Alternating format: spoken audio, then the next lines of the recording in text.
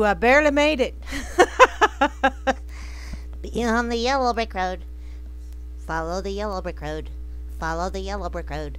Follow, follow, follow, follow, follow the yellow brick road. Ah, yes, the yellow brick road. Yes, go down that little trail where all that gold and lovely stuff is at. Yeah, all that shit that you really don't need. That's pretty much, yeah. Don't need it. Don't want it. Whatever. Hey. Oh well. Y'all are listening to Grammy Mary and Grammy's Rocket Chair here on World Truth Radio and RealLibertyMedia.com, Channel 3. Also on the WorldTruth.org Spreaker channel. And after next week, I'm going to have to learn to say something a little bit different. But hey, it's okay. It happens. In any case, let me see who is over here on World Truth. I still have a few people over here on World Truth. I have the lovely Miri B and Grimner and Marcos and TD Sanders over here. At least those are the ones that liked what I my little note saying, "Hey there, hi there, ho there. I'm going to be on the radio tonight cuz I'm just messed up. I can't get my day straight." Although I did know this morning when I got up because I I turned on my computer and I pulled up the weather and it said Happy St. Patty's Day and I went, "Oh yeah. I got to wear green." Now, that was when I first got up. That was pre-coffee, pre-shower, pre all of that fun stuff, except for letting the dogs out and go to the bathroom. And yeah, by the time I got done showered and critters tended to and all that fun stuff, I forgot. But luckily, the sweater that I put on, because yes, today it was rather chilly. It was 78 degrees on Monday, and today, burr! And tomorrow's going to be even more burr because we're sp- we have a hundred percent chance of snow tomorrow. Yippee yay, cow patty! Thank you, Mary B. Mary B. liked my song choice to start things off. Um, and thank you, Grammy, for for sharing that. Oh, I need to go look at Twitter. Um, oi, oi. It's been a day, let me tell you. Let me see here. I see Barman has been a busy, busy bee. Thank you, sweetheart, for tweeting me. I will retweet. Tweedly deedly deet. Retweet. Um, thanks, sweetie. Good Lord, I don't know what the hell it is with me and the capital H. Get the H out of there, damn it. Okay, um, get that retweeted so that my um, I still have over 300, I think. Let me look. Yeah, I have 303 stalkers. I love it. Um, Got the pop up? Oh, yes, I am the good witch. Follow the yellow brick road. Follow the yellow brick road. Yeah, and I even have, well, they're not ruby red slippers, and they're boots, but they're red. I do have some. Why I bought red boots? I just had a wild hair one day and went, I like those. Those are pretty. I'll wear them. I've, well, I bought them. Thank God they were on sale. but oh well. Um, yeah, I bought them. And I've worn them, I think, a sum total of maybe three times. Yeah, but I do wear them on occasion. Uh, I'm getting a low frequency hum too, honey, and I don't know what the heck is causing it. I have tried to adjust things and all that other fun shit, and I don't know what the hell's going on. Um, using a tube, I could be. I don't know. I don't know what it is. I've I've had a I've had a hum since I plugged in my headphones. So I don't Nope. Nope. Nope. It went away and now it's back. Let's see. Yeah. Shit. Okay, well, I'll deal with it. I hope you don't mind. Too horrible bad. Hell, it may have been that one of my critters chewed on my because it got really, really low for a while there, and then, well, it went, it came back. Okay, over here in the RLM, yeah, I prattle.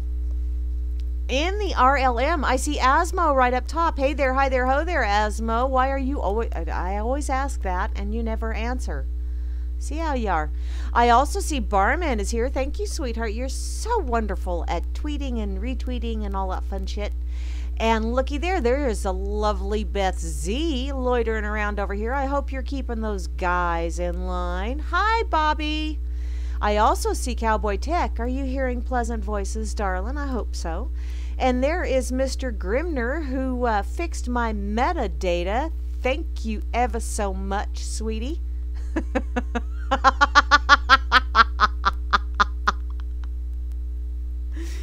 oh, well, um, Grimmy, I'm a humding-a-ling, I think, maybe. I don't know.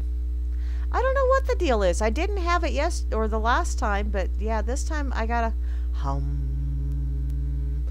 It's hum along. I have a hum along. Um, oh, it goes with your meditations. Hum.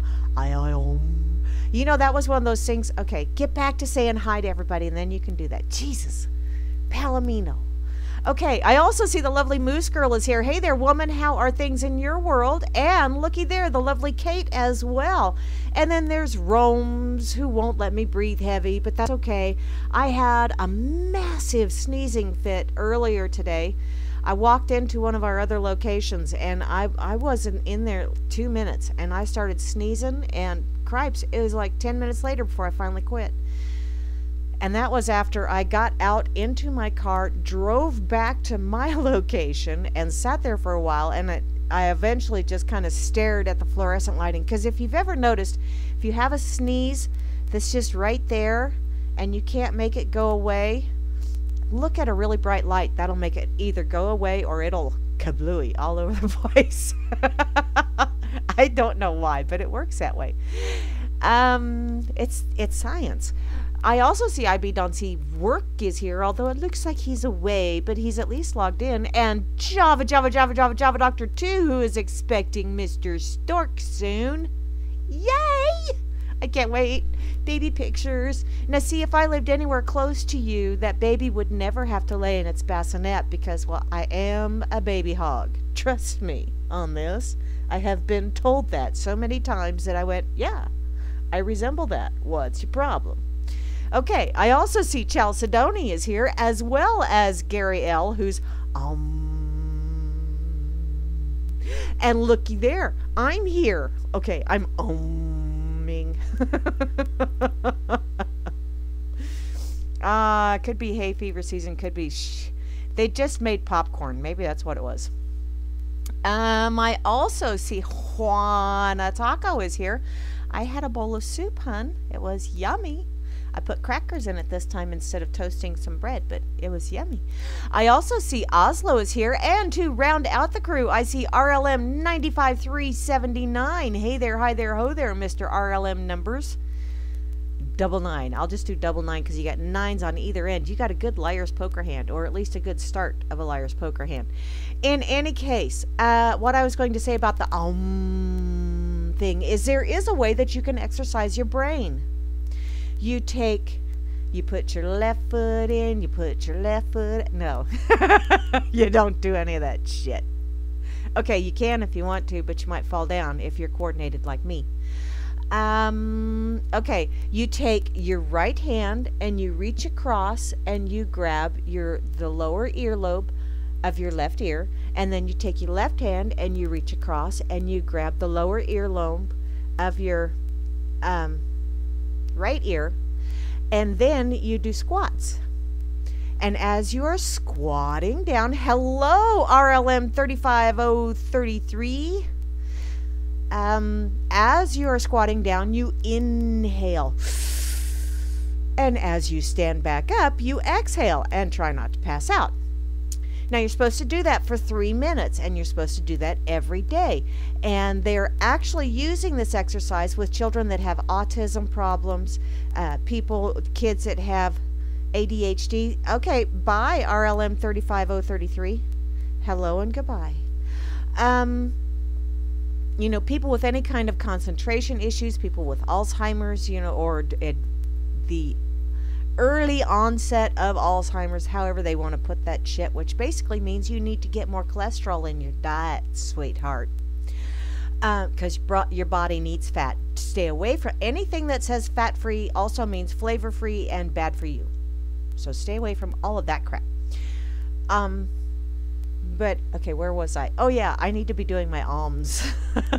I really do, because I've gotten so spazzy lately. but you're supposed to do that exercise. Set, hut, hut. Hey, there you go, Gary L. Yeah, okay, that would work. I also have some little cards that tell you different facial expressions you're supposed to make to kind of cleanse your body, release the evil spirits, all that fun shit and and noises that you're supposed to make while you're making those facial expressions which i'm going to have to dig those cards out and take them down when i go to see my kids which reminds me i have to get a game out tonight yet too because my daughter's bachelorette party is this weekend and i'm supposed to bring the game of things this should be interesting if you have ever played the game of things wow it could uh, maybe it's just my family it could be because we're weird but oh well. Um, and now RLM 95379 has left. Well, hi there, ho there, bye. Sorry, hasta la taco, muchachos. I speak Spanish very poorly. But I do speak English just a skosh better.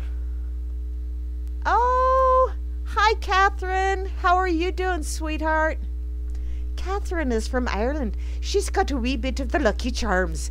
You know, I just got to thinking of that earlier today. I, my mind, yeah, the cobwebs, the breeze blows through, which it's been really breezy out here, but the, um, oh,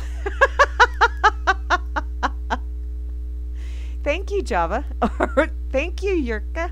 They're so sweet. Yeah, how can you tell I'm smiling? okay, um, in any case, where was I?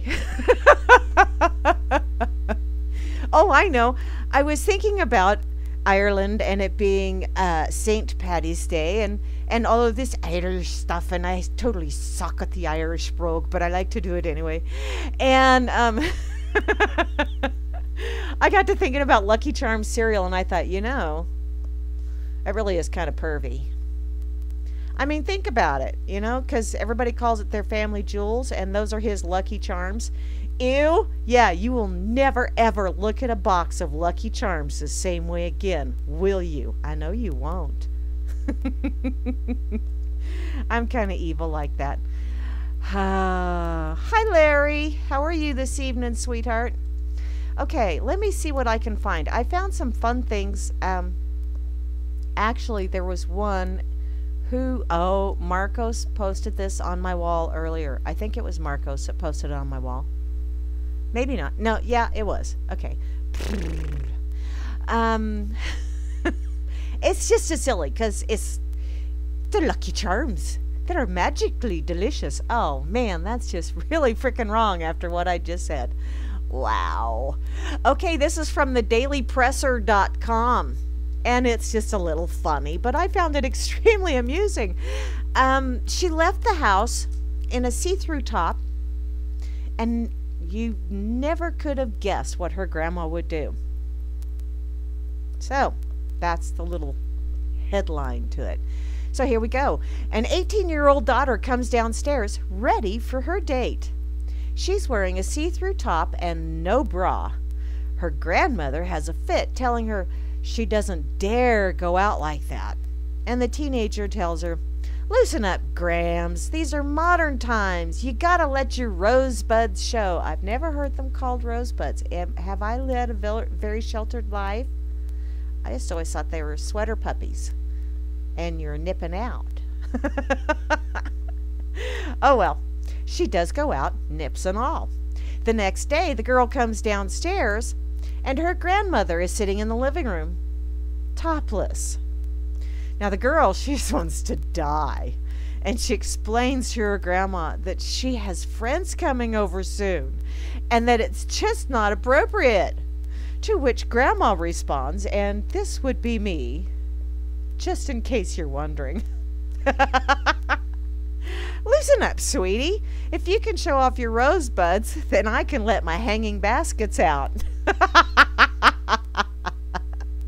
I absolutely love that. I just think that's too freaking funny. Oh. and did you know, ladies, that it's actually better for the girls if you let them roam and be free? Um. Do what, Gary L? Um. Yes. Um. Okay. Don't worry, Grams. We now live in a touchy-feely society, justified genderless society, who don't mind those ideas. You know, there's an awful lot of people that don't mind. And actually, when you stop and think about a lot of the different cultures around the world, there are an awful lot of cultures where women don't wear bras. It's just here where you have to have that push up bra, and you have to have the water bra, and you have to have the underwire bra, and you got to have the this bra and the that bra, you know, and, and the, the faker roonies, so that when you finally get with someone and you start getting intimate and you take that thing off and all you've got is a couple of uninflated balloons after them thinking you have Kilimanjaro. Yeah, that's called false advertising with the falsies. So, ladies, instead of wearing all of that crap and making someone else buku bucks while also possibly endangering yourself because there have been studies doesn't mean that it's true because I read something about which I will get to that later as well. Um, you know, where studies have found that that there is a link between wearing underwire bras and breast cancer. So, ladies, if you wish to keep the girls healthy, let them roam free because you will actually work your muscles and that will keep them firmer than you know because the other stuff they get lazy. Um okay what's that cowboy? Let me share let me share the the tata thing. I gotta see what cowboy posted over here in rlm um Oh, yes, people still think a new president will fix things. That's so funny. Yeah, I think the only POTUS any of us need is ourselves. Be your own POTUS. And deal with the repercussions of every decision that you make, POTUS. There ain't nothing wrong with being your own boss, applesauce. So long as you are adult enough to deal with the repercussions of your actions and your words. Um, okay. I know my friend Pedro over here on uh, Facebook will enjoy this. because he's the one that posted the thing about the going braless girls. Because, well, you know, Pedro, Pedro is all about uh, community awareness and your health. You know, he's just thinking of your health. You, you know, ladies, our eyes are going to have to migrate down to our chest because that's the only way we'll get the guys to look us in the eyes again. that's just the way it works. Okay. Got that shared. Let me see. What do I have going on over here on Fakey Book? A great escape sale? My little sister posted a great escape sale, which she's. Oh, cool. Look at all of that all kinds of stuff on sale, but it's on sale. Oh, these are patterns. I better like that because I want to go back and look. I'm a I'm a knitter freak or a freak knitting or whatever. I like to crochet too, but I much prefer knitting because that way if I have someone mess with me, I have an implement to defend myself with. yeah, did you hear about the old lady that uh, got escorted off of the airplane. She was just sitting there knitting an afghan. But um bum bum. Okay. Um let's see, who was it that shared this? Oh, a friend of mine over on Facebook shared this, and I saw some links about it earlier today. hailstorms kill animals at the Fort Worth Zoo, which my cousin had shared a link or some pictures and some video of the hail that was all hail was breaking loose down there in her neck of the woods and I thought, "Holy smokes." Which, you know, this is the time of year when that weird stuff comes in. You know, they say, "Oh, it's just going to be a little rain," and next thing you know, half the town is blown away. It was such a small storm. Apparently, though, the uh, Fort Worth Zoo delayed their opening until noon on Thursday after hailstorms killed several animals. A spokesperson, um, Al- Alexis Wilson, said that veterinarians were treating a few animals at the hospital, but that several fowl were killed by falling hailstones.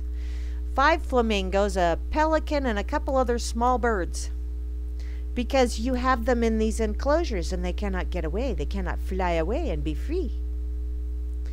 So, it was a rather difficult morning to come in and discover those things, she said. But we also have a park that was covered um, that was covered in with ice, covered in with ice. Wow, who who wrote that? Someone needs to edit. Proofread, please. Wilson also said that injuries to the surviving animals are not considered serious. We did have a few birds injured, but they are over in the hospital. It's a birdie hospital, don't you know? It's gone to the birds. Uh, we do have, um, oh, they do have an animal hospital on the premises, and which I would think, well, duh, it's a zoo. And some of them were just a little stunned. Probably had gotten hit by hailstones. Yeah, think? It does look like, it almost looks like it snowed. It's so pretty and white. I've been, yeah, I've had that kind of hail in my neck of the woods. And yeah, when all hail breaks loose, it really just, it's like, I could do without the hard water falling from the sky, God. I really could. Um, looks like the uh, damage at the zoo could be seen on the ground and from the air. Uh, apparently, numerous skylights from the zoo were damaged, in addition to roofs and buildings, which, yeah, that's an awful lot of hail. Awful lot of hail. Um, I, re- I remember a few years back we had a nasty storm come through. And uh, better than a drone striking an Afghan? Well, there you go, Gary L. Uh, we had a nasty storm come through about, oh, it was about 80 miles south of me and um, by the time the hailstones reached their largest size, they were the size of softballs. They were coming through people's roofs and through the walls of their houses. Now, you know, when you got that kind of hailstones, yeah, there ain't no hiding from that stuff we we get some really freaky stuff out here, but you know, this is Kansas and Kansas gets some really weird weather. So maybe because that's why we're so weird out here. Cuz it's like what the hell? Maybe that's why we say it like that. What the hell? I don't know. Okay. Poor babies. Okay, let me move along, see what else I've got. Hello there, everybody over on Informed Planet. I didn't post anything over on Informed Planet because these these people are serial. As in, like, uh, well, not quite post Toasties cereal, but they're cereal. They're a cereal bunch. And uh, I have tried to share some fun things over there, and I've had people grumble bumble at me for sharing fun things. And it's like, wow, butt pucker much? Sometimes, just sometimes, you need to learn to relax and realize that there are other things in the world. I can do I can do my Glenda the Good Witch. There are other things in the world that are lovely to look at.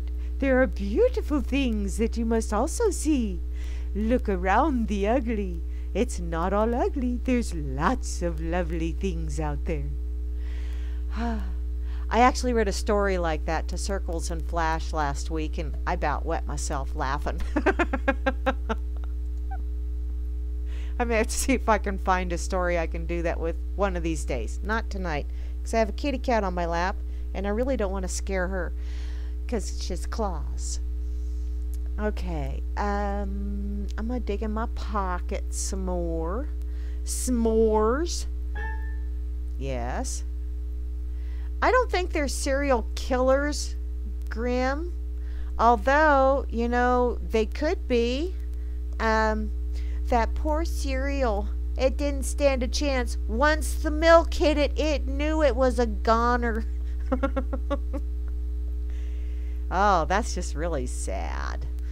Okay. Um let's see. Okay, I don't want one because that's already been defeated. Um, okay, somebody shared this over in the RLM the other day. You know, I have been so busy at work, I haven't even had time to to peek at things and try and stuff my pocket full. it really sucks. I hate having to work at work. Damn it all. In any case, this is from the dailycaller.com and uh, it's in their education section. Satan loving students on Minnesota College campus uh, combat conservatism, transphobia, and NAFTA. That's an odd combination, wouldn't you say? I'm thinking Satan loving. I did I didn't know that Satan was into loving. I thought Satan was into destruction and hating. There I go, having an independent thought. Oh well, apparently gay capitalism hating devil worshippers at the University of Minnesota uh, of Morris have announced their intention to wage a war against conservatives on campus the nascent group called Queer Devil Worshippers for a Better Future. Now, you're, you're, if you go by the actual queer as in unusual, odd, strange, I could see how that applies to you. They announced um, their existence and are its ambitions late last month in a campus wide email. I'm looking to start a Satanist group at Morris to address the budding conservatism on this campus, which I find abhorrent. Well, good for you, Reed Larson. I'm hoping the group will have a social justice platform and further such a platform through good old devilish revelry. Hmm. Well, Larson has uh, christened himself as Voldemother. Christened himself as Voldemother. Okay. And he's the Voldemother of the Queer Devil Worshippers for a Better Future. Uh, define what better future is coming from a devil worshipper. That that's my first question here. Aside from the fact that you're being just odd and unusual and really quite strange. For the group's logo, Largan, uh, Larson has chosen a classic circle emblazed satanic pentagram festooned with rainbow colors of the gay pride flag. Well, if that ain't enough to get all of them Bible thumpers just a thumping, I think it would. I would love to see this bunch and the Westboro Baptist Church go head to head. I would sell tickets. Who wants to buy a ticket to go watch it? Bring your own lawn chair and your own cooler. I will not supply beverages or seating arrangements, but I will supply popcorn. the budding conservatism, budding, hmm, all kinds of mental images come to mind. On the University of Minnesota campus, has uh, it consists of a handful of groups a gun group a pro-life group which boasts perhaps two dozen members combined and a source who uh, chose to remain unidentified cold they told this to the campus reform. Well so you've got two groups with maybe a dozen members and that that makes the queer devil worshippers want to come out of the closet well alrighty larson has distributed the initial newsletter of queer queer devil worshippers or qdw hmm qdwbf Oh, they're BFs. Isn't that sweet?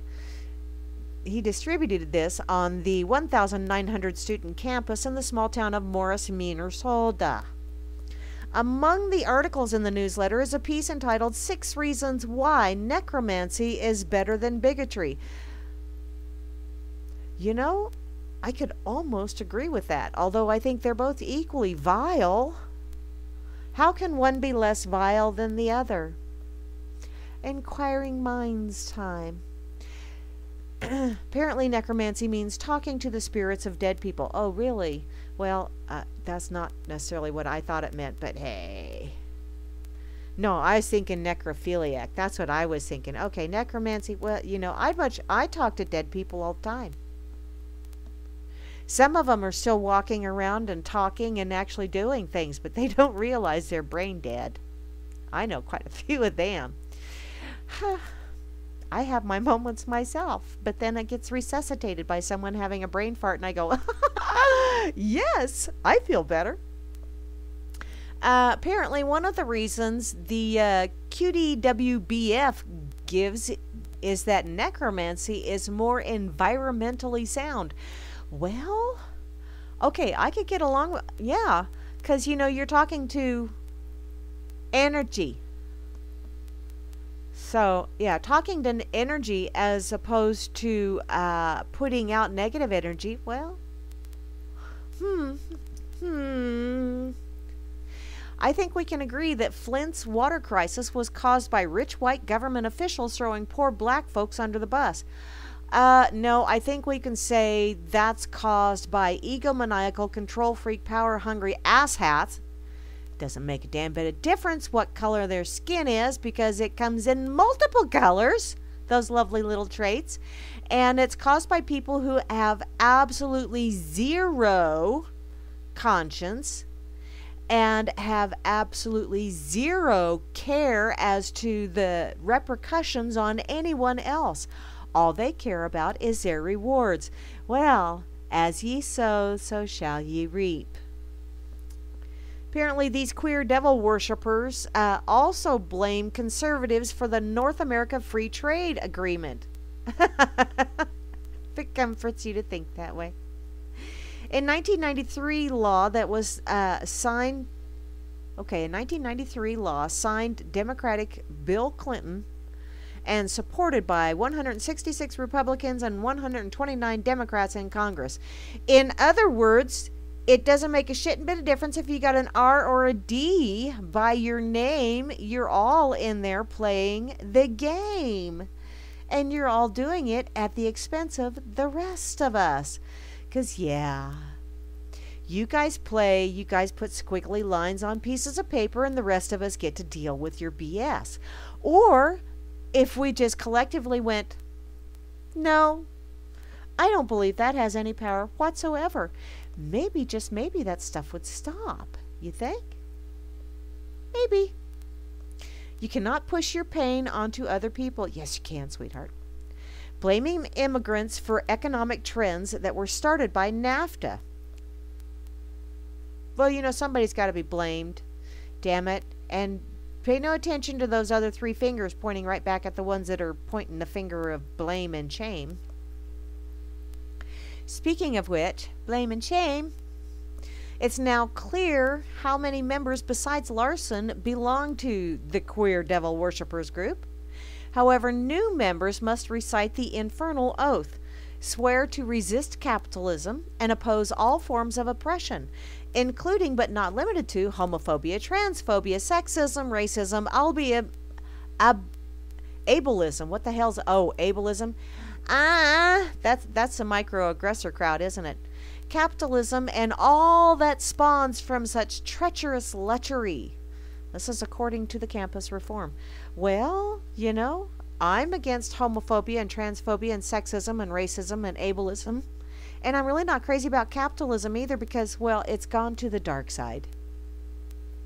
No matter how well intended some people may think it is, or how wonderful it is, it's gone to the dark side.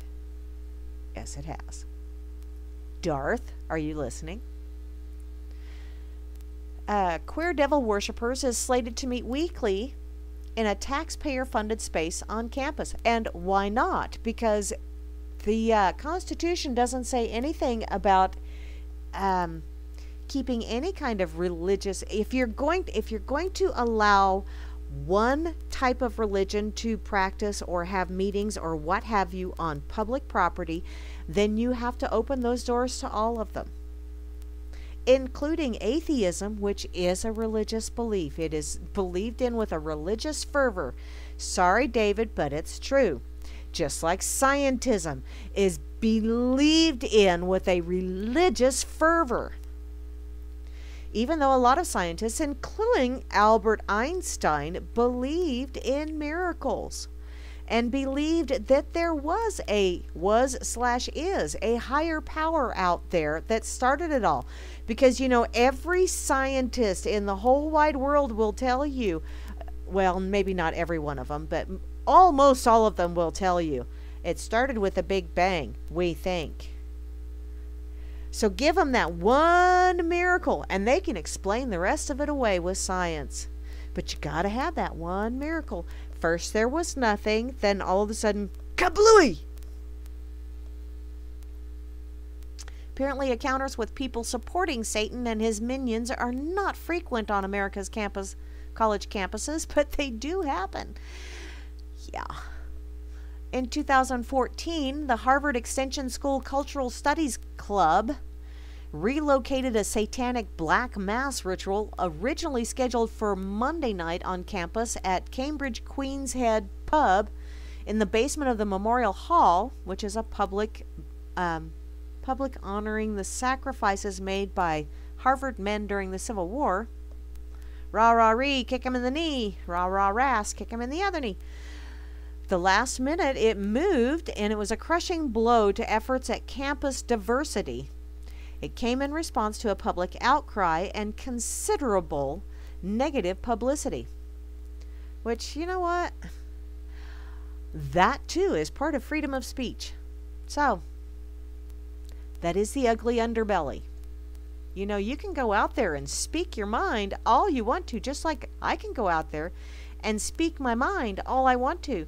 But I have to deal with the repercussions of everything that falls out of my mouth. Everything. Just like everyone else does. They may not think they have to, but they do, eventually. So, I'm going to put this over on World Truth Israel real quickly. I think any kind of worship of an outside entity is absolutely insane but that's just me. I think I think we all have whatever we need inside. So you know, if you want to and and that's another I got into a discussion with someone a few weeks back, you know, they were telling me about Satan and he's real and all this other fun stuff and I said I don't know one way or the other. But I would if you know, if I was Satan, I might be a little bit miffed that I'm getting blamed for everybody else's weaknesses, for everybody else's bad acts. How do you know that this guy, you know, wasn't just walking along, minding his own business, and then all of a sudden someone goes, You're the devil. And I'm going to blame you for everything I do wrong. The devil made me do it.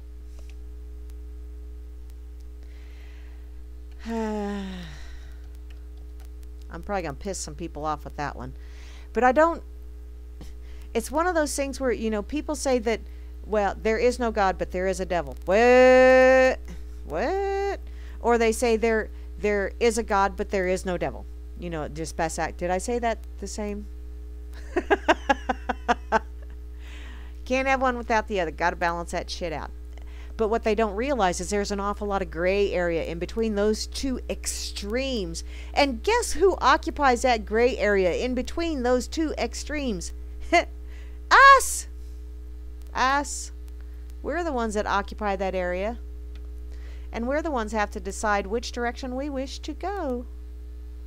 And it doesn't make a shit bit of difference who you're going to blame on it. Ultimately, you're the final, you're the one that made the final choice. So, Falls on you. Hi, Rodrigo. And Tim. Hi, Tim. Okay. Should I put this? Yeah, I'll put this over on Facebook too. What the hey? I'll have fun with this one.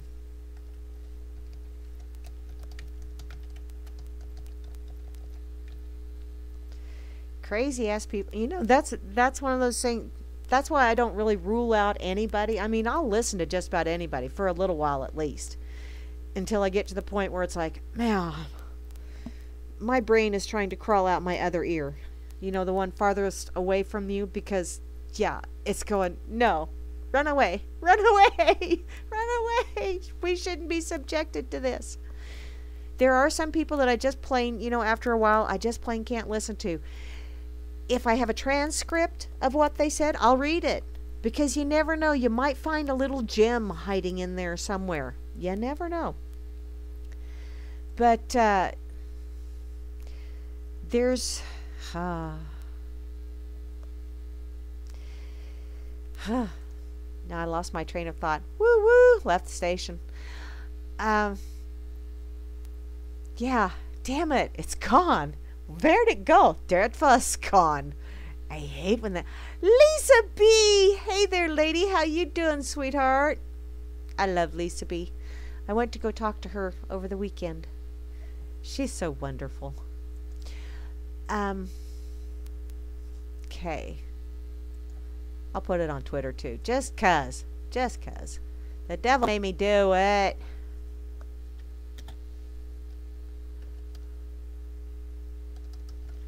Not Friday yet, but I'm going to do the R thing anyway, because that's kind of a growly, isn't it? Kinda, sorta, almost. Okay. Um, I think that was really all I had in my pocket. That really sucks that I didn't have time to load my pocket up with all kinds of cool things. Which means I'm going to have to... Oh, wait. I wing it anyway. Um, over here on Farkle. Fark, Fark, Fark. Fanny Farkle, Fern Farkle, Fred Farkle um, right there at the top under their interesting category, they have in honor of St. Patty's Day. Here is the World Beer Prize Index or Price Index for 2015. Let's go see what that is. I want to see what the most Krispinski beer is. Um, wow. Okay. Apparently, the ranking number one is Krakow. The average price for 33 is that centiliter, centiliters? Is that what that is? A beer is 62 cents at the supermarket. Um, average price at a bar is $2.70. Average overall price is $1.66. Um, I'm just going to give you the list here, and then you can you can or maybe I won't because, wow, I don't think I can pronounce a bunch of those.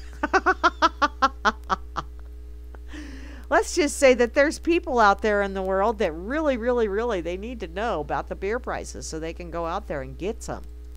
I can't do beer anymore. Yes, I did, Grim. Yes, I did. I am the devil. There's probably someone out there that's going to hear this and go, She's the devil. We're going to have to hunt her down. Really? Get past my hell dogs. Yeah. Bubba. Bubba's a sweetheart till you mess with me. And then he's not so sweet anymore.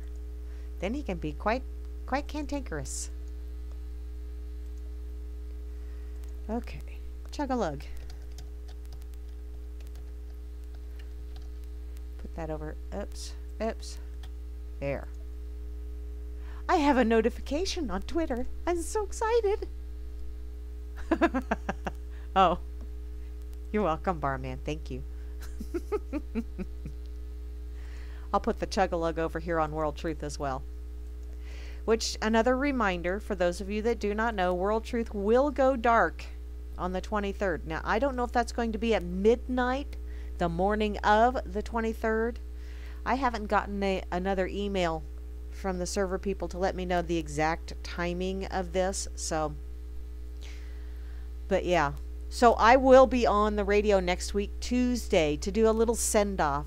a little bon voyage to World Truth because yeah, it needs to it needs to go.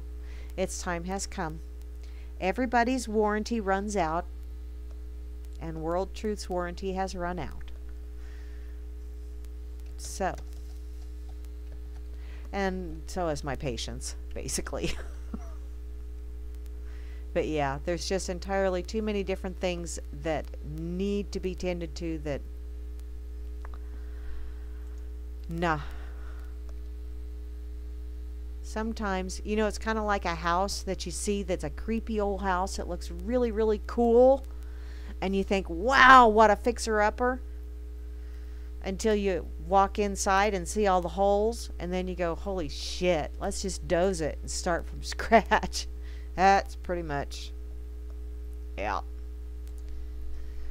So, a lot of people have been going to um, over to Freedom's Network, which is uh, Bo Diddy's site, along with Grimmy. Grimmy has been doing lots of playing on the site and fixing and adjusting and all kinds of way coolness.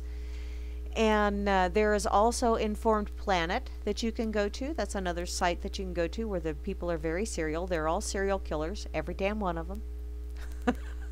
I have no idea what their particular brand is, and I really, quite frankly, don't care. They're killing cereal. First, they drown it in milk, and then they consume it. Egad! Um, let's see. Oh, there's there's one. I need to go there. Yeah, I didn't make that didn't make it into the pocket. I saw one this morning and I thought, wow, that's kind of cool, but it didn't make it to the pocket. Or at least the headline was kind of cool, but it didn't make it to the pocket. While it's warming up, though, I'm going to come over here to Oopie. Oopie. Apparently, they had a little bit of an issue in Jersey today. Was that today? It's it's the top story. Apparently, an armored truck in New Jersey dropped a bag full of money on a local highway, stopping traffic as bills were strewn about the road. It's just trying to get into the St. Patty's Day spirit, you know. It's a bag of cash, and it fell out of the Garda truck headed west on Route 46 in Wayne, New Jersey. A passing truck then struck the bag, causing the bills to fly into the air. Fly away and be free! You may as well, because that's about all you're worth is uh, zip. Witness Paul Redmond told CBS New York that the bills were spread all across the roadway as traffic came to a stop. Take a look up and see massive amounts of money flying down the highway, he said.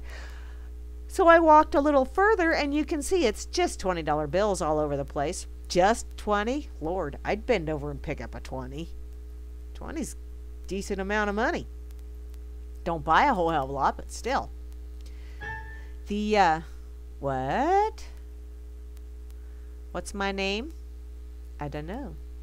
What is my name? Let's, okay, wait a minute.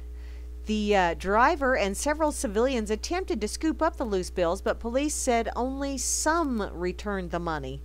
It's unclear how much money was lost or how the bag fell out of the truck, but Redmond said it seemed the truck's back door flew open. Hmm. It's everywhere.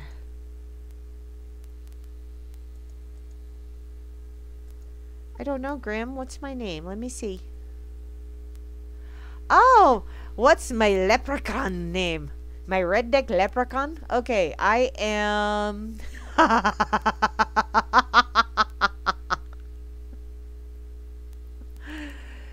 oh.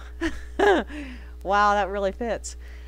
Um, mine is Crazy Ruby Mc. I'm Crazy Ruby McNasty. oh, excuse me. That's just too funny. Too funny. Huh. How did they know? It's inquiring minds time. they know me so well. That's a good one, Grammy.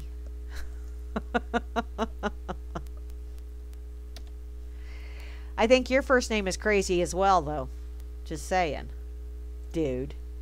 I got to put that one over on Facebook because that's just too funny.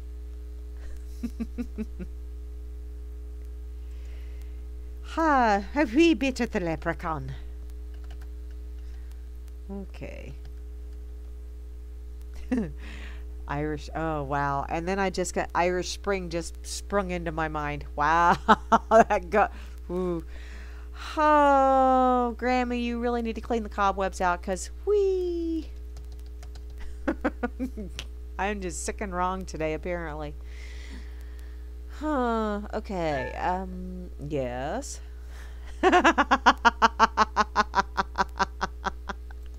yes, it is, Grim. Yes, it is. Okay, let me. I'm going to go back and look in my pocket just in case I had something else that I hadn't gotten to. Um. What is that? What is that? Oh, that's a PDF. Okay. I'll go to that later. Um.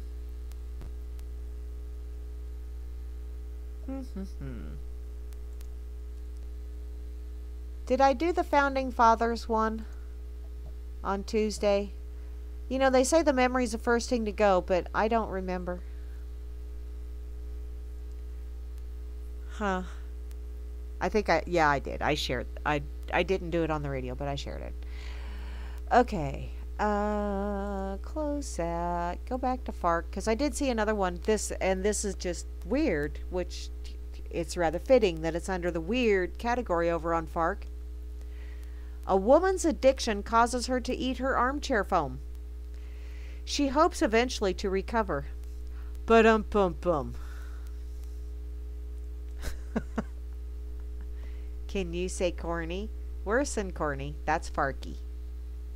That's very farky. Um, come on.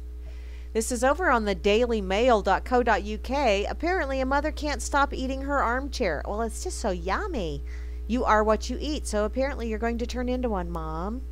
This is due to a bizarre addiction that she that makes her crave foam. And washing up sponges slathered in toppings are her favorite snack. Yuck. Huh. Apparently, this mother of one who developed cravings for sponge during her pregnancy has spoken out about her unusual addiction to foam. Hmm, your body is craving something, sweetheart. Wow, that's just wrong. Vicky Cullen, who is 28, not only eats the padding in her own armchair but buys washing up sponges to snack on and likes to add foam to her recipes when cooking. Well, um, yeah, they're, wow. Hmm. The single, um, single mother from Wakefield, South Yorkshire, assess- estimates that she has eaten her way through 2,000 sponges since she developed the obsession when she was five months pregnant with her daughter Olivia, who is now five. Wow, you know, you could really retain water eating all of them sponges, just saying. Dang, girlfriend! Not that that was an attractive chair to start with, but do you know what that foam is treated with, hon? Ick. Ick. Apparently, she's been diagnosed with pica or pica. It's an eating disorder which means adults ingest non nutritive substances. And she said, It's weird to tell people I have eaten a sofa chair and to hide their foam cushions when I visit. Ooh, wow. That's just rude eating people's furniture when you go for a visit. You're supposed to sit, not eat or at least not that. I've only just started revealing the extent of my cravings to friends and family because of a com- uh, commitment to help make people more aware of the problem. Vicky's mainly snacks on a large armchair in her living room. What's she going to do when she gets it all gone, though? It's a single yellow and white colored chair, and I particularly like jam or Nutella on the foam pieces. In the morning, I like to dip them in orange juice. Ack! She said that um, I have tried the foam in shoulder pads and bras, but it doesn't beat the foam in my particular chair. wow. I know it's really sad, hun, but wow, that's just odd. She's uh, apparently began her cravings in May of 2011, and uh, most women experience weird food cravings, which I did when I was pregnant, um, and often well after giving birth. Which you know, after I had my first daughter, I craved burrito deluxes for the longest time. Pregnant woman farts are not pleasant, by the way. And then I started craving French toast and pancakes. I don't know why, but I just I had to have French toast and pancakes. But after I had her, I didn't wa- I still liked the burrito deluxes and still craved them. But I no longer wanted French toast at all. I couldn't even look at French toast for the longest time. And pancakes, well, I just love pancakes. So I'll just I make up a whole bunch of pancakes and then I'll just walk around snacking on pancakes cuz well, yeah, I like pancakes. I like mental pancakes too. He's a sweetie. Um, she goes on to say, My friends have told me how they crave pickles and honey or tuna and ice cream. but not me. I've been shoving foam and sponge into my mouth for the past five years since the craving started midway through my pregnancy. I'm thinking, wow, hun, that's just really. Wow. Although I'm sure it's really chewy. Wow. I have a sister in law, or actually, she's an ex sister in law now, but she, um, every morning when she was pregnant with her eldest, would um, go out and get a rock. Oh, Cowboy is Burpin Earl McWanker.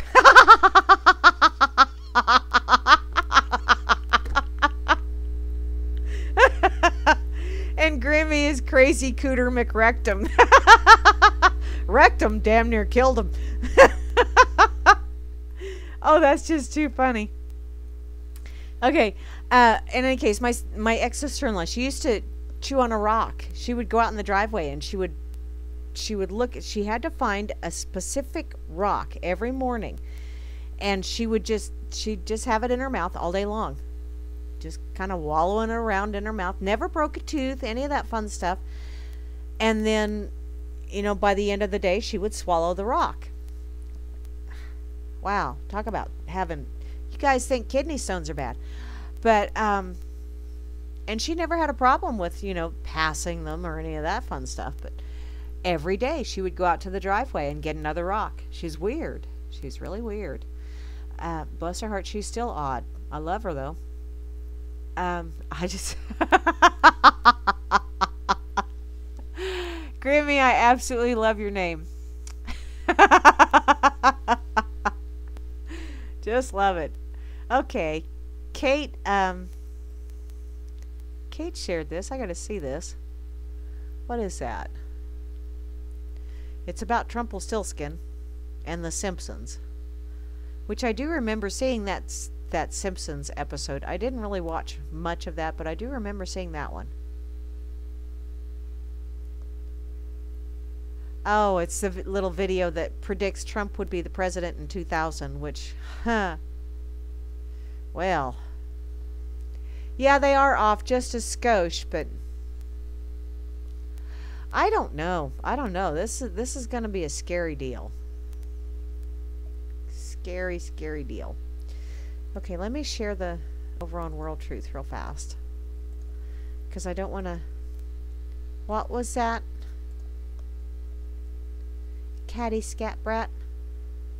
Iceland and now Ireland have taken action to hold criminal bankers accountable for their direct role in the economic devastation which enveloped most of the world beginning in 2008. Yay!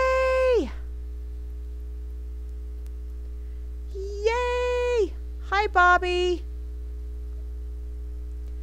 I had to click on this one. I'm going to have to go there after I do the Simpson and share the. Thanks, Caddy. That's cool. Okay, get this. I am going to miss my little emoticons. I really am going to miss those things. But I'll get over it. Yes, I will. Okay. Let me go find The Simpsons again. I know everybody has seen the video. They've it's been shared umpteen gazillion times on Facebook and on World Truth and but I'm going to go ahead and share this article anyway cuz thank you ever so much Miss Kate. I want to get to this Ireland thing so I can say booyah. Way to go. Uh, I don't want to open up that link too because it'll slow down my putter. But, okay. this is from the activistpost.com from today, of all times. Ireland to prosecute top banker who destroyed their economy, and guess where he was hiding? Um, I don't know. Ah, ha, ha. Apparently, a former head of a major Irish bank has been extradited from USA and brought before Dublin District Court to face several charges stemming from the bank's role in the 2008 financial crisis. David Drumm, former chief executive of Irish Anglo Bank from 2005 until 2008, had been arrested in Boston in October of 2015 and originally attempted to fight extradition, but he recently withdrew the objection and was returned to Ireland early Monday. Yay! Face up to it, dude. That's the best way to handle that shit. He faces 33 charges in Ireland, which echoes Ireland's unprecedented move to hold its bankers, or no, excuse me, echoes Iceland's. Wow. Um, and hold them criminally accountable for their role in that country's economic meltdown. Though Drumm predictably denied wrongdoing, yeah, right, his charges include fraud, forgery, misleading management reporting, um, unlawful lending, falsifying documents, and false accounting linked to financial transactions prior to the collapse of Anglo. This is according to the Irish Times. Though prosecutors consider Drumm a flight risk, after all, he seemed to be seeking safe haven inside the United States the court allowed the ex banker to post bail under several conditions. Drumm's passport is currently being held by the um, Gardia or Gardai. Is that how? I, Catherine's going to have to tell me how to pronounce that. And under the bail arraign, arrangement, he assured the court he would not apply for another and does not possess a U.S. passport. Wink, wink, wink, wink, fingers crossed, arms crossed, toes crossed, legs crossed. Honest, I won't do that. Apparently, seven of Drumm's relatives offered to put their houses on the line as security for his bail, though the judge only required four names. As RT reported, Drumm is alleged to have participated in transactions totaling around 7 billion pounds or is that euro? That's euro, I think. Between Anglo and the second lending institution, uh, Irish Life and Permanent. Um, Anglo posted the worst corporate results in Irish history with losses of 17.5 billion with a B in 2010. Wow. Drumm came to the United States in 2009 and reportedly refused to cooperate with an investigation. Prosecutors fear his capacity to marshal significant sums of money adds to the possibility that Drumm could only or could easily disappear. Um, however, his solicitor argued that in order to better prepare his defense, including sorting through the millions of documents and nearly 400 wow hours of phone conversations, Drumm needed to remain out of prison. As the Times noted, two books of evidence will need to be heard by the court, one of which entails bringing 120 witnesses to testify. The former banking executive has not yet entered a formal plea, and he faces a maximum penalty of 10 years in prison if found guilty. Wow, that's all? Iceland and now Ireland. It starts with the eyes. Uh huh. And that's where the soul is. Behind the, or you can see it through the eyes. Different eye, but hey. Eye. Um, Iceland and Ireland have taken action to hold criminal bankers accountable for their direct role in the economic devastation which enveloped most of the world beginning in 2008. The exact opposite of what the US does because, well, they're too big to fail. So, all of you little guys that it's easy for you to fail and you can just go on the streets because then we'll make laws that makes it illegal for you to be on the streets and then we'll throw you in jail and then we'll make you work for slave labor and then uh, on and on and on and on as of October, Iceland's criminal bankers have been sentenced to a combined 74 years in prison, with others still awaiting trial. Then, the sale of one of its national banks meant a payout, albeit small, for every Icelandic citizen. The U.S. notoriously and controversially bailed out its banks because, you know, they should not be held accountable for their stupidity and their greed. Essentially, they rewarded them. Who says crime doesn't pay? Or at least excuse them for the crisis they created. Drumm was ordered by the judge to remain in Ireland, as if he's going to listen to that. Notably, according to RT, the Irish ex banker has appealed a U.S. court's refusal to grant him bankruptcy on over 10 million euro of debt. Hun, what'd you do with all that money? Hmm? Interesting. Very interesting.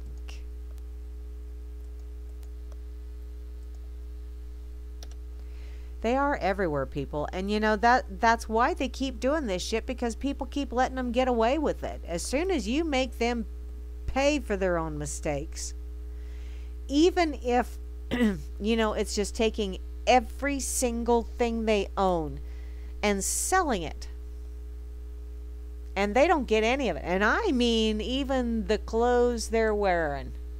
You know, if they want to wear something, they can wear an ever so fashionable glow in the dark orange jumper or a pink jumper.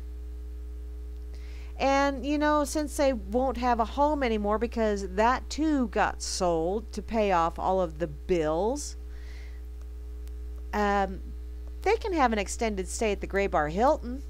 Sure, that's also on the taxpayer's dime, but the taxpayer feels just a wee bit better about it.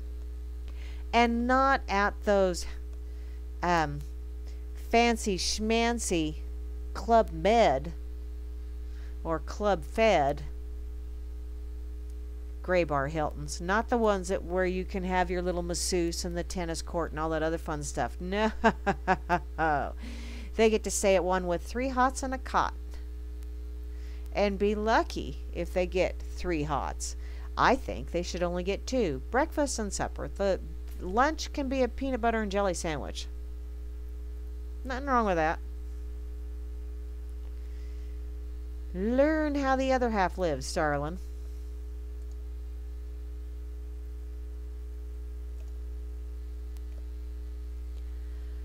Huh. Thank you once again, Miss Caddy Scat Brat. That was an excellent article. Excellent news, too. Um. Uh oh. I got comments over here on World Truth. I got lots of comments. Let's see. Okay. Pam's at a loss for words, which, yeah, mm, I, I get that. Bobby's just glad he's not married to her because he couldn't afford to keep her in furniture.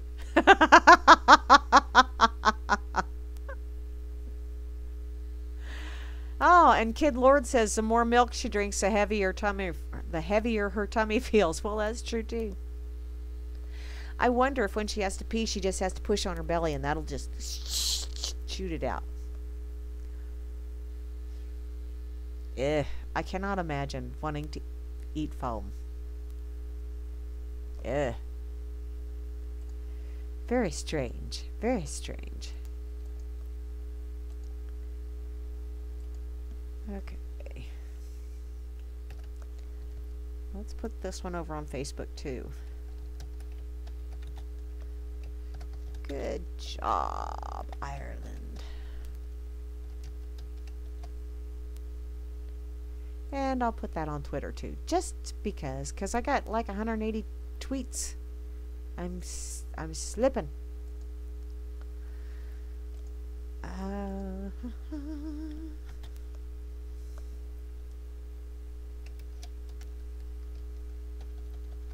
bravo! And I have a notification too. Wow. Who's that? Oh.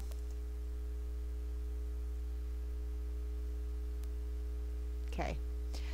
Now. Where's my Oopie? There's Oopie. I'm going to go back to Oopie just because. Oh my god. Xena finally came out of the closet, guys. Sorry. Yep. You're SOL. Just shit off to the side. Okay. Favorite state in the whole wide world. Uh, wow. Hey, that is kind of cool, though. Okay. From Youpie, oopi.com. A Florida woman fights to keep potty trained pet alligator. Now, the picture is worth a bazillion words because it's just too cool. Seriously, I got to share this so y'all can see it. It's like, damn, that's one badass gator.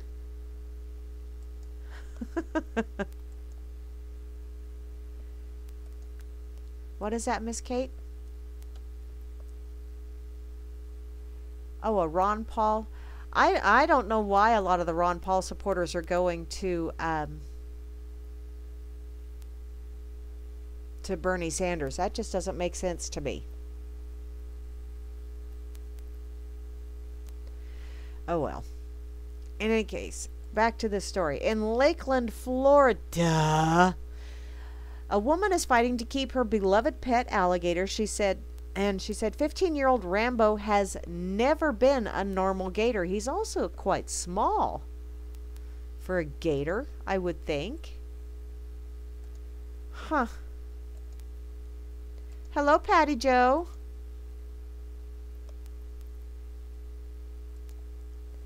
Let me let me get this here real fast, and then I can read that. Ah, stutter figures. Ah. Oh, someone just asked. So, since you're closing down WT, I will build, bid my farewell and find other links you shared. May God bless. May God bless you and keep and your angels keep you safe. Much love and light always. Namaste. Thank you, Anon for life. Bless your heart. That's awfully sweet of you.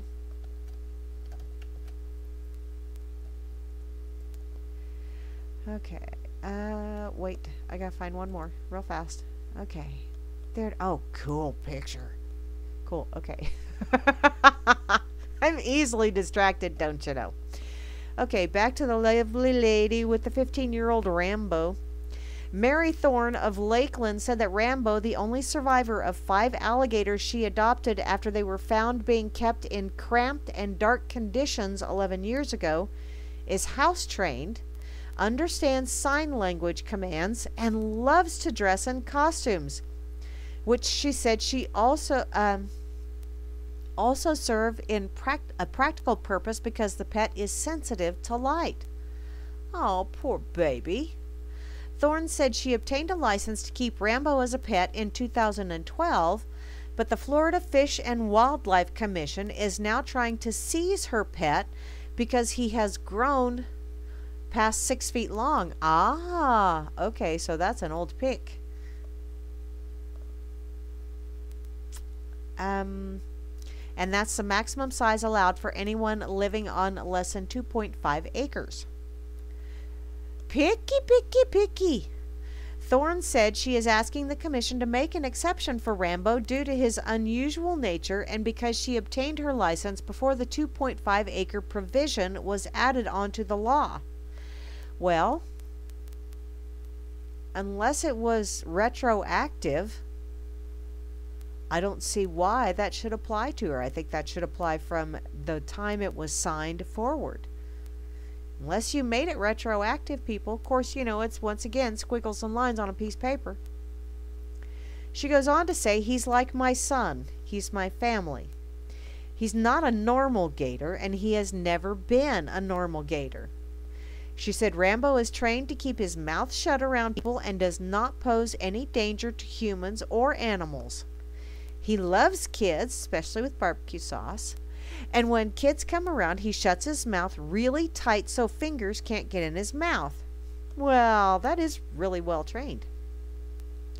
He's also fond of dogs, so is Dangleberry. And he watches TV on top of my dogs. People get along with him, kids love him, brand new babies have sat with him to do pictures.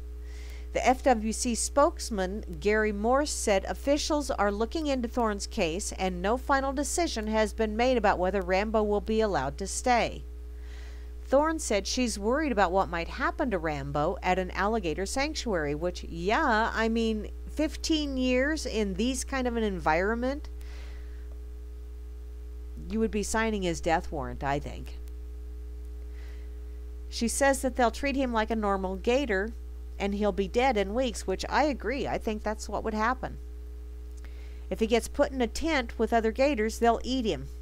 His immune system is low, and other gators will also will get sick um, after he passes on whatever he gets, or after they consume him. However,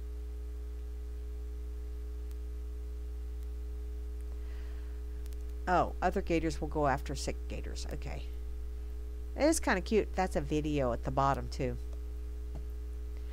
Uh, you know, people have some really unusual pets.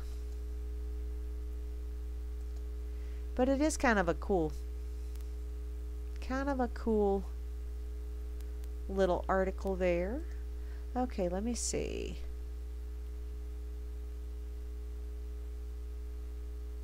Wow, Kate. Holy moly. I gotta check that out. Please tell me it's in English. I wouldn't be. It's not. Damn it. Kate just shared a link over in the RLM. Um. Just a minute. Let me. Yeah, close out. Apparently, the uh, Brazil had a vote of 433 to 1 to impeach Dilma. Yeah.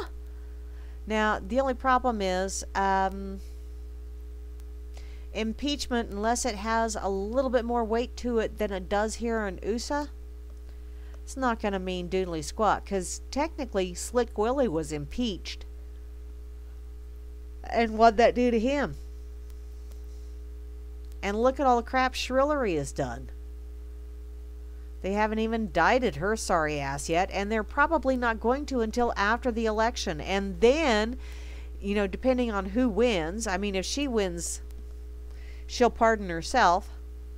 Although they'll probably say something like, um, Well, you know, it's in the Constitution that you cannot arrest them while they are in performance of their duties. Well, a lot of the shit that she was doing was not in the performance of her duties as a POTUS.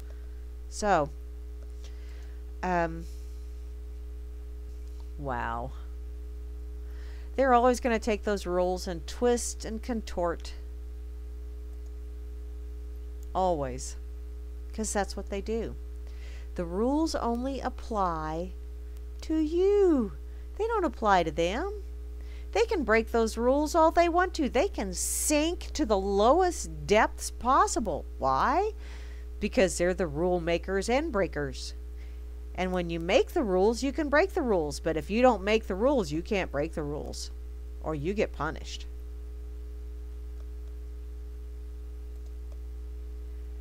Okay, let's see. What else do I have here? Snoopy, Snoopy, Snoopy. I'm gonna go back to Fark. Um.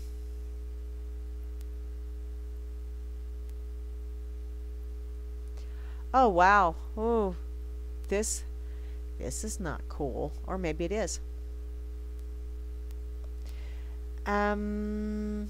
It's under the cool category. The very first Honda built for America is unsurprisingly in better shape than your 2011 Chevy Malibu.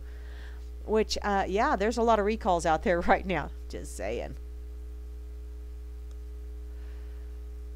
Tim Mings is maybe the only mechanic on earth who wrenches exclusively on Honda N600s and Z600s the plucky mini esque ultra compact cars that were built in the late 1960s and early 70s. As he started his latest restoration project, he wiped some grease off the VIN stamp and realized holy crap, he got the first one. Wow, that would be so cool. Uh, Mings, aka Merciless Mings, operates a shop in Southern California and subsists entirely off fixing people's N600s and Z600s. It's a 20 year veteran mechanic, and he says he's been a Honda guy his whole life. Apparently, he has a regular rotation of 200 um, 200 some odd clients with these cars, but his particular Serial 1 project is going to be something truly special. It is literally the first production Honda in the United States, and without a doubt a thing of beauty as it sits. But Mings will be making it even nicer and eventually sending the car off to a Honda museum where it will be preserved indefinitely. Mings will be documenting the whole restoration process for you to keep up with, and um, yeah, I'm going to. Just watching the introductory clip above apparently has the writer tingling. Ooh, Chris the Tingler? Oh, I do. Apparently, not only because it um, this individual is a bit of a vintage Honda fanboy himself, but Ming's passion is plain to see even through the camera. Couldn't be happier that this car is in the hands of someone who knows how to treat it.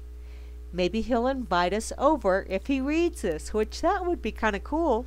And it is a cute little car. I do recall seeing some of those going down the highway when I was younger. Back in my younger days before I could drive.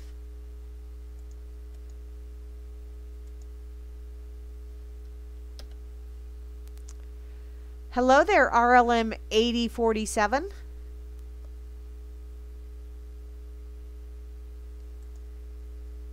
Okay. Uh, okay. I will go ahead and put this over on World Truth. That is just pretty cool.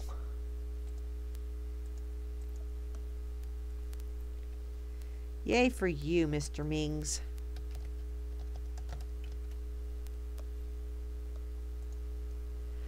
Okay. Um, we'll put that. Oh, shit. And I closed Twitter instead of. I hate buttons. I always push the wrong one. Damn it all. Oh, sweet. I just op- reopened my Twitter and wow, that is cool. I wouldn't do it to my hair, but that is pretty cool. See, now I got to go there because I just gotta. Classic paintings might be what you look for in your next hair color. Wow. That is kind of, I mean, it's a, huh. I'm almost tempted. I want to know what kind of crap they use in the hair dye, though, because I don't want to put a bunch of icky stuff. And I want it to be able to gradually rinse out. but I think that would be fun to do. Okay, I'll have to share that with my daughter, too. Because she would do some of this stuff because she's crazy like that. I don't know where she gets it from. Oh, shit. Oh, shit from Shinola. I did the wrong thing. See me and my buttons. Okay. Um. No, not that one. Where is it? Where'd it go? Where, oh, where are you tonight? There it is. This is what I wanted to share on Twitter, and I had to stutter finger about the Honda. Okay. Now. Oh, hey. I refreshed, and there's a picture of the United States there, and it's all red. And it says, Washington, we gave you your chance and you're not part of the United States anyway. So you're not the boss of me. Not the boss, applesauce, which I never did get to finish listening to that video, cowboy. Go figure. It's just been, it's like, damn it. Actually expected to work at work. It just sucks. Okay. I am going to go back to Youppi. Um,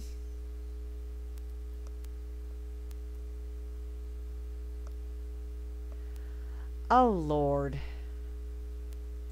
Okay. This is just stupid. But, yeah.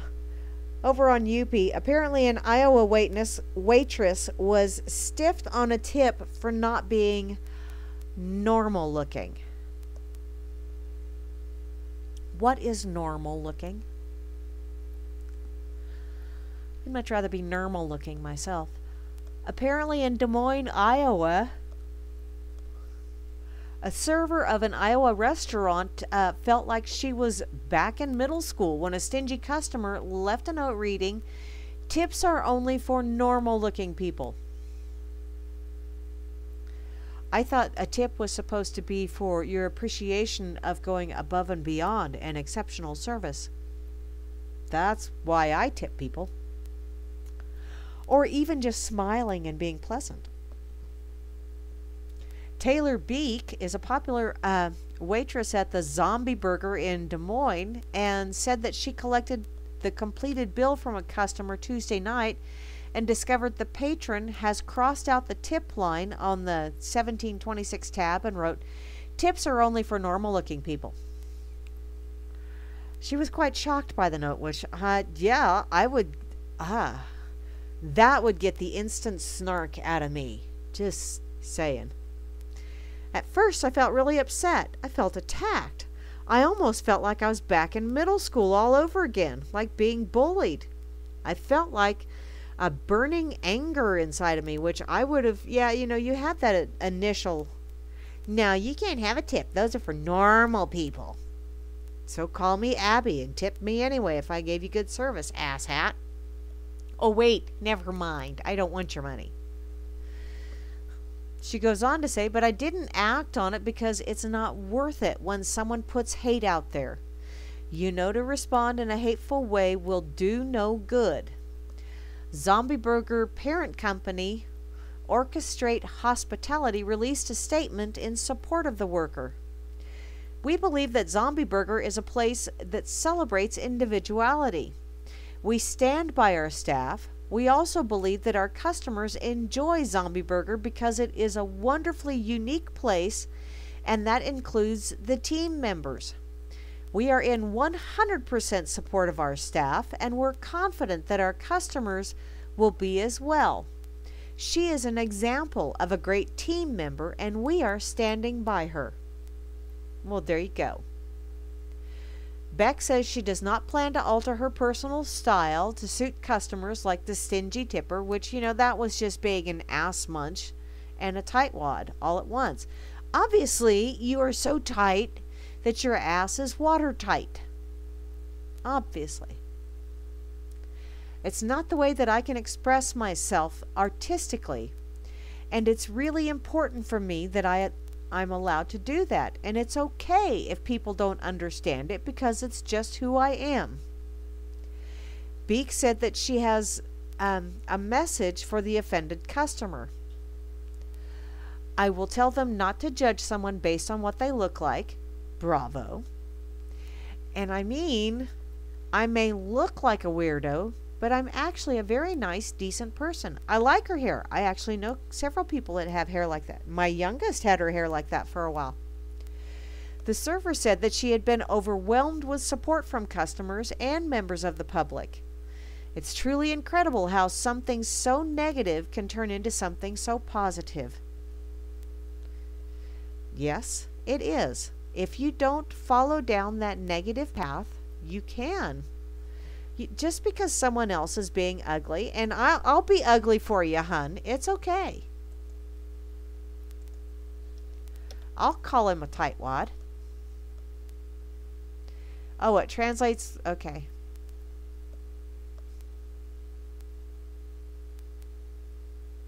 Oh, thank you, Miss Kate. Do I have time? I will go see. Kate said that this one is pre voting, but we'll just go there anyway. It's all fucked. That F bomb. Damn. I don't think I dropped one before now, did I? Holy moly. Is this like a record? I think it is. Brazil descends into chaos as Rousseff and Lula wiretaps trigger mass protests. I've been seeing lots and lots on the news about all those protests, too. Just yesterday, we said the following about Brazil. It seems as though this country can't get through a single day without some piece of political news or economic data creating confusion and turmoil.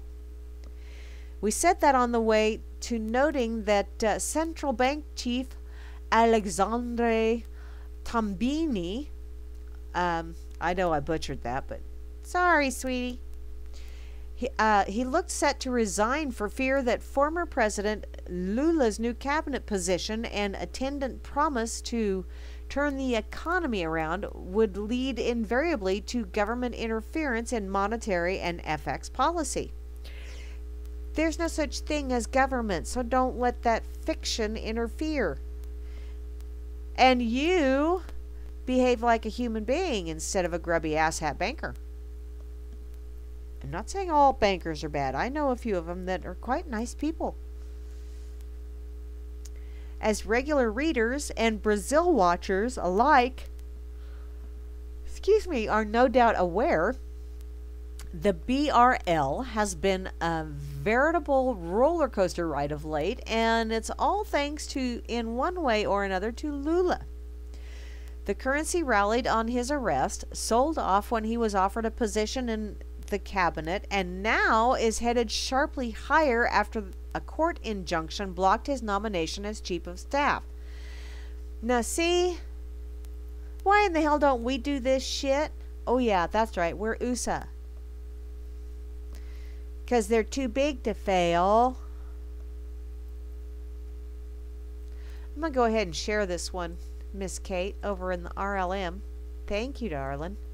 That's an awful lot of gobbledygook stuff that I really... Um, I really don't pay a lot of attention to that kind of stuff, and I know I probably should. I have all these people telling me, you should do this and you should do that, and it's like, really? I have enough trouble taking care of me. Okay? let alone keeping track of you.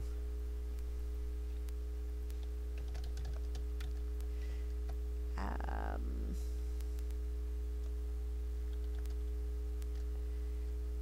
just a sec here. Oops. Oops. Clicked on the wrong thing. oh, Dilma the dildo, huh? Alrighty. Cool. Let's see. Uh, Q U E T. There.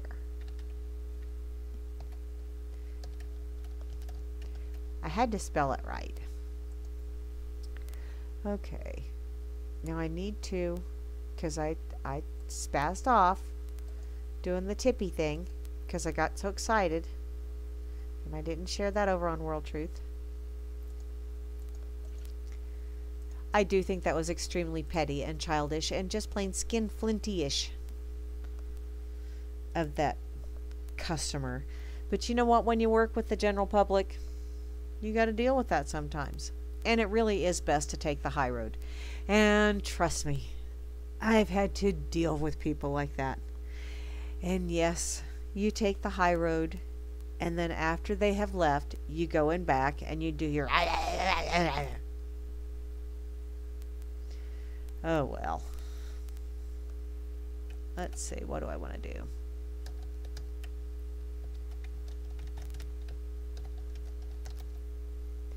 There. I'll be not so nice. But that's for you, sweetheart, because he was, whomever that was, was an asshat. Okay.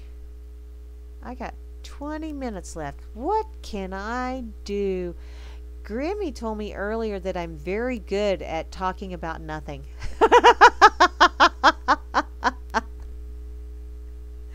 well, what is nothing? Actually, what is nothing? How can you have nothing? Because if you have a void, it's a void. It's not nothing. So how can what is nothing?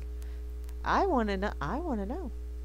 But until then, over here on Fark, under their interesting category, they have the extra crispy life of Colonel Harlan Sanders. What? Was he cremated? Please don't tell me that he was part of those 11 herbs and spices. Ew.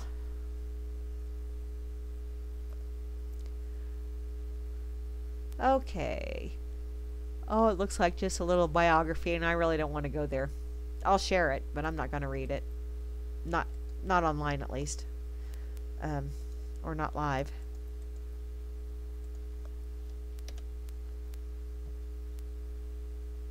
Uh-oh. Crude broke $40. So is, does that mean it's going down? Because gas out here has been going up steadily. Like a minimum of 10 cents yeah, it's going up. Damn.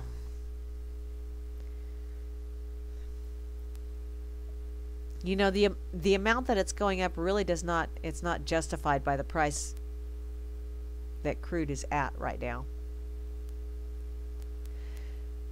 In my opinion, but you know, and I do know a little bit about the oil patch since the X is still in the oil patch and I do know quite a few people that uh, still work in the patch. Oops. I don't have a light on, so I have a hard time seeing my keyboard. Seeing by the light on my screen. Hey, move it closer, Grandma. You can see better. okay. I'm going to put this over on Facebook too. Um, oh.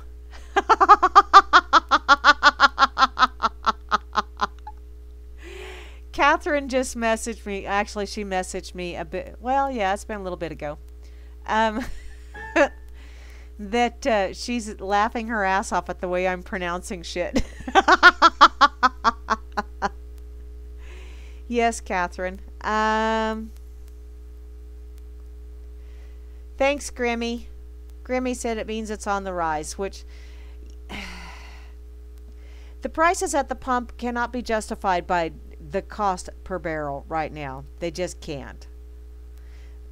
Somebody's making money somewhere. Um, oh, well, I'm glad you're enjoying it, Catherine. I, this, yeah, this is just, this is normal for me. oh, and I'm glad you guys are having a wonderful evening. Tequila shots? No, do. Um, ah, yeah, that's pretty much, yeah, I don't do tequila shots, so cowboy, because tequila makes my clothes fall off. and I haven't done tequila in a long time. Whew, that's just bad for you. Very bad. oh my goodness. Um, let's see, where was I at besides lost? Somewhere. I'm lost. Oh, I know. I was gonna.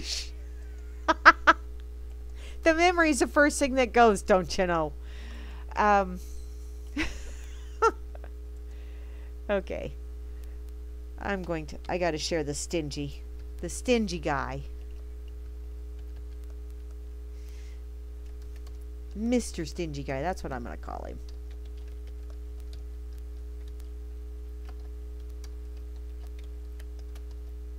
butt munch. There's lots of other things I call him, but Mr. Stingy Guy works for now. Okay, I'm going to go back to the home page on Oopie. And I probably should. Oh, hey, hey, Epiphany, Acme light bulb moment. Too bad it doesn't light up my keyboard. Oh, a baby wombat on an Australian beach. Down under. Hey, Mary B, how's things down under? Is it starting to cool off down in your neck of the woods, sweetheart? Or are you getting close to the end of your summertime? Because I'm getting close to spring. It's sprung all over the place.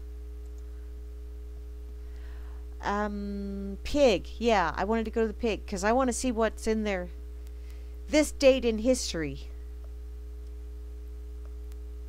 Uh-oh. Uh-oh. Hambo's going nuts. The silencers continue their assault on freedom of speech. Oh, looks like Hambo's got a hell of a humdinger going here. Y'all ought to come over to the pig and check it out. Uh, oh, and the word of the to, that too. The word of the day is privilege, an accusatory term provoked or invoked by envious whiners who fear feel uh, but how about I stop, rewind, and try that again? Because obviously my brain and my mouth are not on speaking terms right now.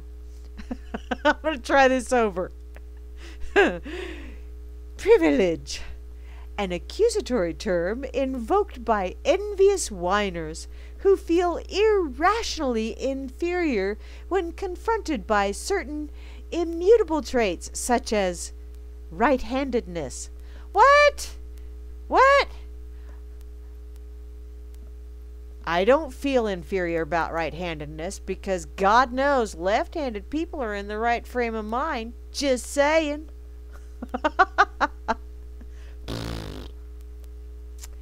um. Oh. Ooh, he's also got a bite me dickhead thing here. Ooh. Wow. Okay. Um. I'm not going to go there. No one Hambo. Whoo, that'll be a humdinger too. Uh, this date in history, March 17th, uh, 1755. Transylvania Land Co. buys Kentucky for $50,000. Unexpectedly, the fine print requires them to marry their own sisters. Wow, who'd have thunk? Well, you know, keeping it all in the family that way. Uh, this date in history, March the 17th, 1762. Six years after St. Patrick's Day is first celebrated in New York City. Really? Cool. Um, at the Crown and Thistle Tavern, the Big Apple perpetrates its first St. Patrick's Day parade. Wow, it's dang, that's longer than then uh, Thanksgiving Day and Mother's Day and and it's a holiday I'd much rather celebrate. Although I'm not going to drink green beer. Ew. Okay, this date in history, 1898. First practical submarine submerges for 1 hour 45 minutes. The real fun ensues when it initiates a bold new, maneuver called resurfacing, much to the delight of the crew. it liked. This date in history, 1942, General Douglas MacArthur relocates Pacific War front lines to Australia.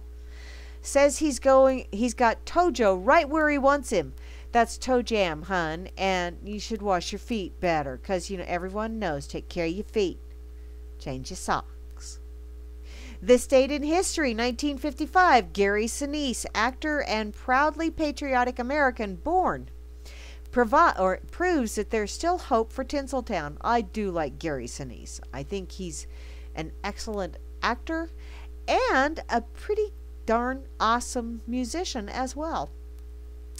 Also, this date in history, 1988, Iran says Iraq using poison gas. Uncle Sam pretends to be shocked, is heard muttering, Tell someone who cares, jihad breath. Although I'm thinking poison gas, okay. Who fixed the camel meat? Probably those 11 herbs and spices you stole from the colonel. This date in history, 1990, in the fabled City of Angels, unto Porcus O Publisher, a son, Daniel Patrick O Publisher, is born. Happy birthday, Dodgeball, and yes, happy birthday, Daniel Patrick. And congrats, Porcus O Publisher on being a proud daddy.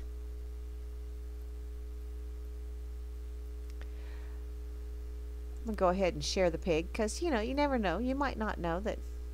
Hey, oh, shit. Never mind. Yes, Miss Catherine? Oh, you're listening to.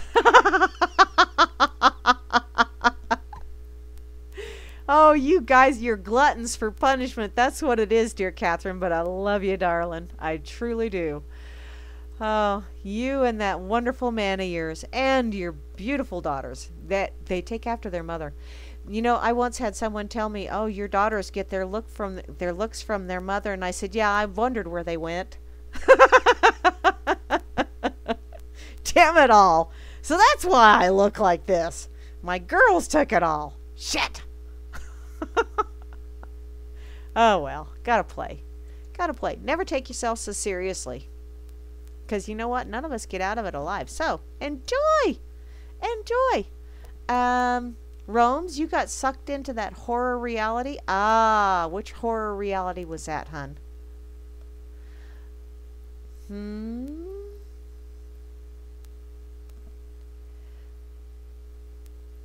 Oh, Sinise was good as Stu Redman in the TV series of The Stand. Ah.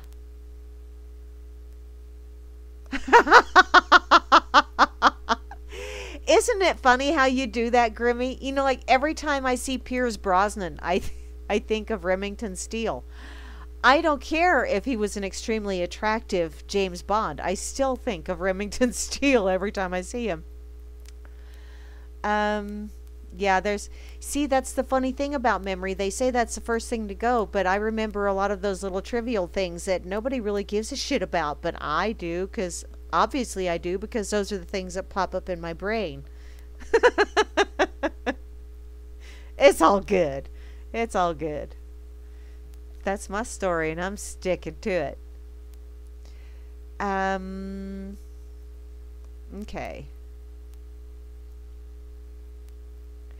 Oh, who's watching Dancing with the Stars? Yuck. Yuck. I don't watch any of that stuff. You know, unless it's on the boob tube when I'm at bowling and there's no sound to it. So we just we watch a lot of that stuff and just laugh. Cuz it really is quite entertaining when there's no sound to it. You can make up your own words to it, especially when you're watching their lips move. You know, it's like bad lip reading, those videos on YouTube. Oh, we have a grand old time with that. I know that shocks you. There. I had to share the pig. Y'all got to check out the pig. Hambo looks like he's on a on a hell of a rip snorter. Okay, do I have time for one more Farkle? Fanny Farkle? Ferd Farkle? Um. Oh, hey. Apparently, this is under the asinine category. Well, it's perfect for me then, ain't it? Uh, don't look now, but Fark may be inviting trolls by posting this article. What is your definition of a troll? You know, one man's troll is another man's truth talker.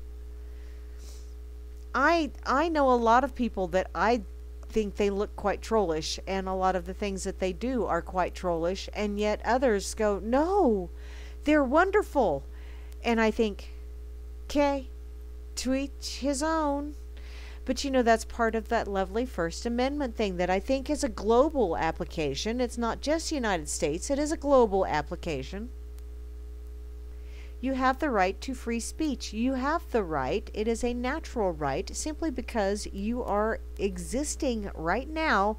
You have the right to express your opinion. And it doesn't make a darn bit of difference who gets butthurt over it. You also have the right to get butthurt when someone else expresses their opinion and you don't agree with it. And you know what? That's the lovely thing about free speech. And the hardest thing about free speech is standing up for the speech that you find abhorrent.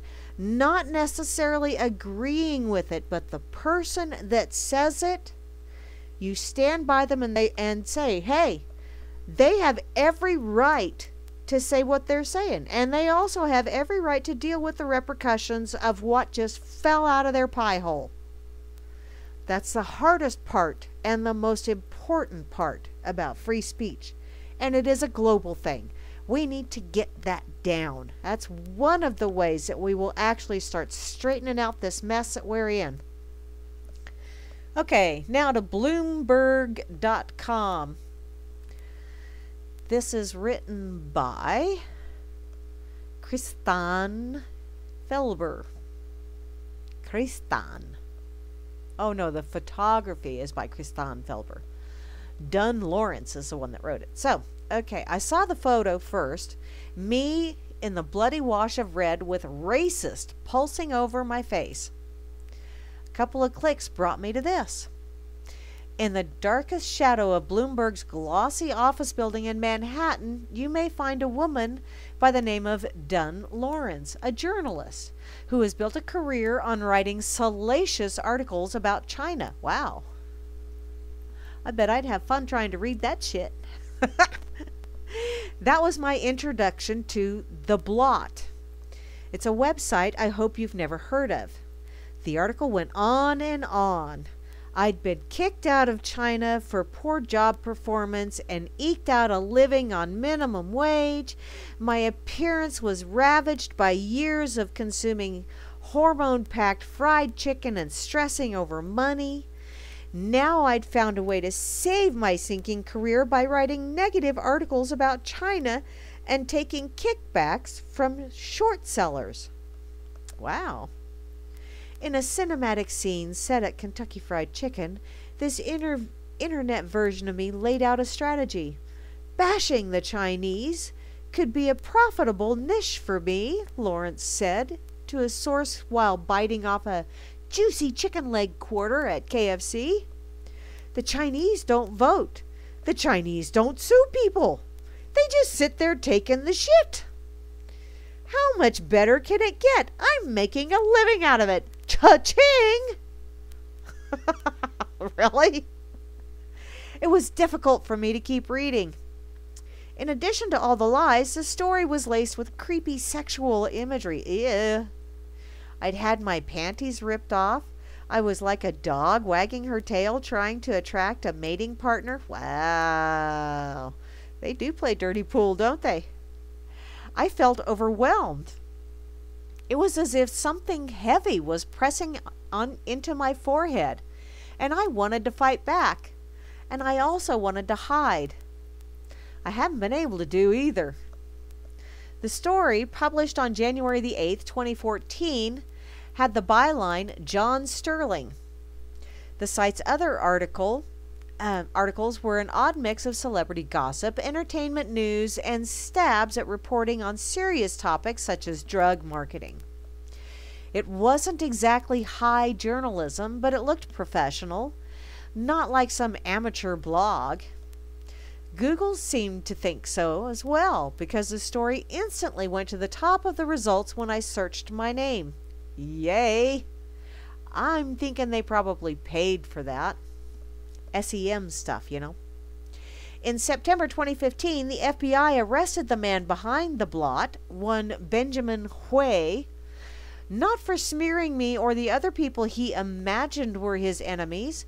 He's primarily a financier and he was charged with securities fraud and other financial crimes involving Chinese companies he helped to list on U.S. stock markets. Now, see, this is exactly what happens, people. They do all kinds of vile, disgusting, evil stuff, and in order to keep you from seeing all of the nastiness that they're doing, they start slinging arrows at everyone else and slinging mud and slinging shit and slinging whatever they can sling. Oh, look at that bad person over there. Pay no attention to what I'm doing. Sounds kind of familiar, doesn't it? Apparently, the U.S. Department of Justice alleges Wey pocketed tens of millions of dollars in illicit profits that he funneled through associates overseas and back into accounts in the U.S. Wey denies the charges. No! Apparently, a trial date is set for March of 2017. If the world is still here. This tends to go on for quite a way, but I am out of time, so I'm just going to go ahead and share this link with y'all. I hope everybody has an absolutely awesome rest of your shit day. I mean, Thursday, because I sure am happy it's Thursday, because that means tomorrow's Friday and I'm taking off work at noon so I can haul ass down to see my grandbabies. And then Saturday, I am going to be, uh, yeah, bachelorette partying with the youngest. This could prove interesting. Going to a comedy club. Should I heckle the guy or should I just sit back and be nice? Ah, stay tuned. I'll let you know next week, Tuesday, when I am back with my regular or with an extra rocket chair. Tomorrow evening, be sure to come around. It's going to be balls to the wall tomorrow at noon Central Time, which is 7 o'clock Denmark time. Will be This is No Time for Rational Thinking with Vince and Lou, and God knows who they're going to have. I'm sure it's going to be absolutely entertaining and informative. Saturday, I'm running over. Saturday is Kira, but you know what? I still own the place. Uh, I'm such a smartass. Saturday is Kira with the bridge. That's at 4 o'clock Eastern Time here on World Truth Radio. Saturday evening will be Bo Diddy with some bodacious tunage. Sunday at noon, which I will not be able to hear because I will be on the road, will be Grimner with his blues show that leads into Hal Anthony at 2 o'clock. Um, or is that 3 Eastern? 2 o'clock by time. 3 Eastern Time. So, lots of stuff going on this weekend. Please be sure to come.